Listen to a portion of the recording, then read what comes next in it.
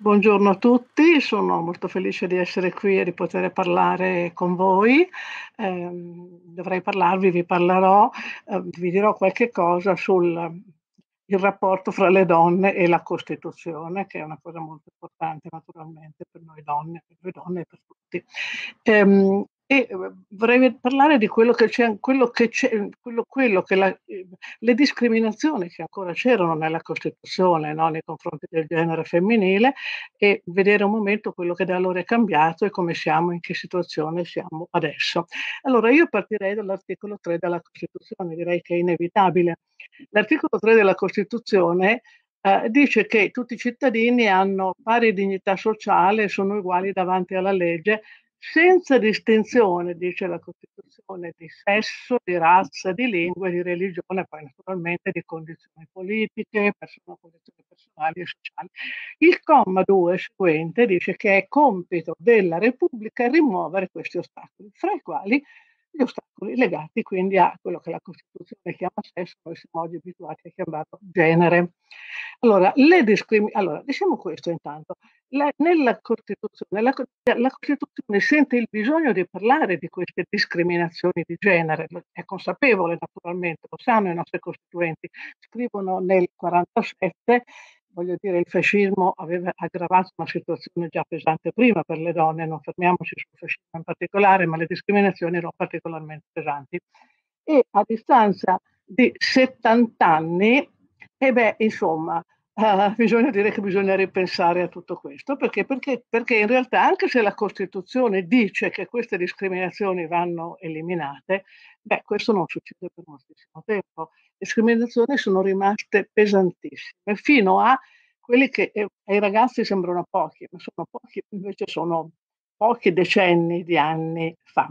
Allora, le discriminazioni più pesanti riguardavano due settori, eh, il diritto di famiglia e uh, il diritto penale. Diritto, nel diritto di famiglia, e vi dico una cosa solamente, uh, pensate che ancora negli anni 60 c'è stata una riforma del diritto di famiglia, lì molte, cioè, sono cambiate molte cose, cambiate cose molto importanti.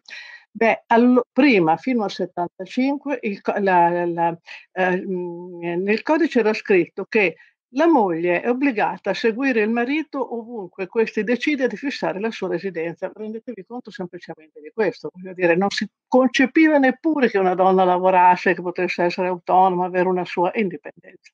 Niente di tutto questo.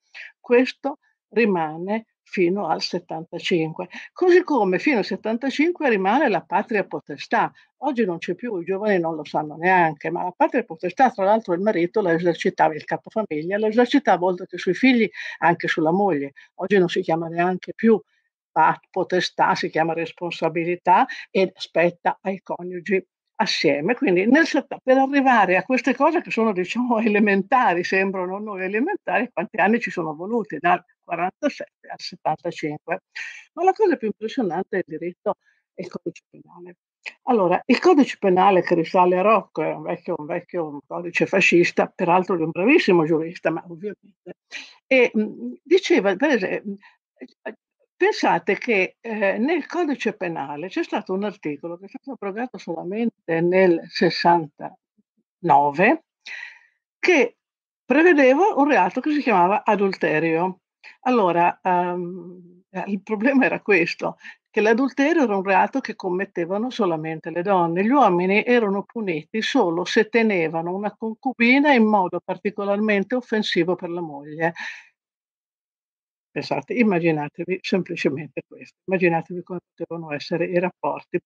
Pensate che c'era l'omicidio per causa d'onore. L'omicidio per causa d'onore, anche tu, sono tutte cose che sono state abrogate nel 60, 69, 70, in quegli anni, prima non, non, non se ne parlava proprio.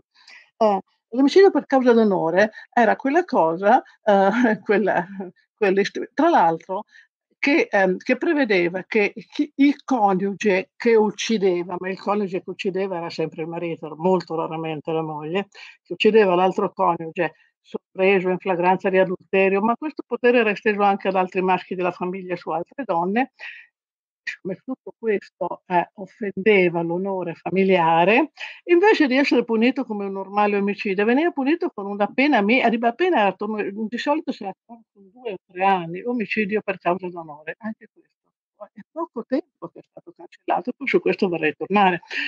Anzi anzi non torno, ne parlo subito.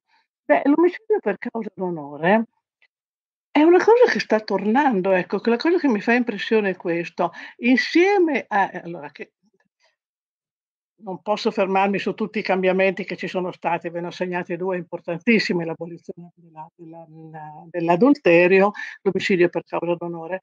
Uhm Sembrava che con questo le cose fossero cambiate, che insomma i forse i giovani non se ne rendono conto, soprattutto le don giovani donne, alle quali mi fa piacere spero che ce ne siano a sentire questa cosa, hanno l'idea che tutte queste cose ormai sono scontate, le abbiamo le abbiamo conquistate noi della nostra generazio noi e anche gli uomini, non da sole, ma il femminismo è stato molto importante in questo, e che questi diritti che ormai abbiamo, ecco, possiamo anche dire più genericamente, abbiamo ormai finalmente raggiunto la parità formale noi uomini e donne, quella sostanziale è un discorso diverso, ma, uhm, quella formale l'abbiamo avuta. Allora le giovani donne, eh, ehm, non sanno che fatica è costato, com'è stato difficile cancellare tutto questo e non si rendono conto che le cose possono cambiare. Secondo me stanno cambiando e stanno tornando indietro. Perché vedete purtroppo la storia non è un non va sempre, ehm, in avanti, non va verso un progresso, no, la storia può tornare indietro.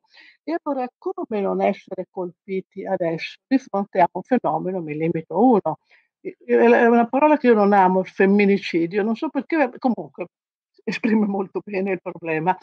Lo strage di donne che quotidianamente accade, leggiamo sui giornali, donne che vengono uccise da uomini. Allora attenzione, molte vo qui siamo addirittura oltre l'omicidio per causa d'onore, perché questi uomini che oggi uccidono le donne quotidianamente, beh, le uccidono non solo se questi li tradiscono, ma, ehm, semplicemen ma se li abbandonano, se vengono abbandonati. Cioè c'è una regressione a una perché? Perché perché cosa succede? Anche gli uomini sono in crisi, questo è un mondo molto difficile, anche molti uomini non hanno lavoro, ma già non è solamente adesso, eh, ma insomma da alcuni anni ormai, ehm, i rapporti con le donne sono cambiati, la vita eccetera, eccetera. Allora, di fronte alle crisi che cosa scatta negli uomini? Scatta un ritorno al concetto proprietario della donna. E questo mi spiace dirlo, è una cosa che è difficile da cancellare perché la dobbiamo ai greci che io amo tanto, ma sono loro che hanno teorizzato questo, non ho il tempo di raccontarvelo, ma è così. E da poi Aristotele ha addirittura proprio teorizzato che è anche giusto che sia così, perché noi siamo inferiori noi donne agli uomini, perché non abbiamo il logos, cioè l'intelligenza che hanno loro, va bene. Ma mi ehm, è molto difficile. Questa cosa c'è di fondo, da 2500, 3000 anni che è così. E allora nei momenti di crisi cosa succede? Succede che negli uomini scatta di nuovo questo problema. La donna rimane l'unica cosa, la concezione proprietaria di sua proprietà, l'unica cosa che gli dà sicurezza. Questo è qualcosa appunto quale mi fa piacere mhmm, de della quale mi fa piacere parlare, anche se mi dispiace doverne parlare, perché penso che sia bene che le ragazze di oggi, le giovani che non conoscono la storia che io ho cercato in 2 parole di tracciare dell'emancipazione femminile, ecco, le donne di oggi non si rendono conto non si rendono conto che bisogna tenere la guardia molto alta, sempre. Grazie.